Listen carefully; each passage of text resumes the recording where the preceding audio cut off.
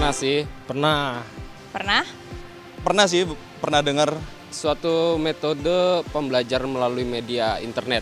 digital learning itu adalah belajar yang melalui internet ya, online lah. Kalau menurut pendapat pribadi, digital learning berarti kita belajar sesuatu dari internet. Bagus sih. Efektif ya. Yang pasti itu bagus banget. Eh, kalau seluruh Indonesia sepertinya butuh effort yang lebih gede ya. Hmm, efektifnya ya di perkotaan untuk sementara ini ya. Jadi kalau kota-kota besar bisa dibilang pas. Sekolah-sekolah di daerah bisa pakai kayak PowerPoint, kayak proyektor misalnya, terus dibuat eh, apa ya materinya itu dibuat dalam bentuk PowerPoint, nggak pakai spidol, kapur, kayak gitu.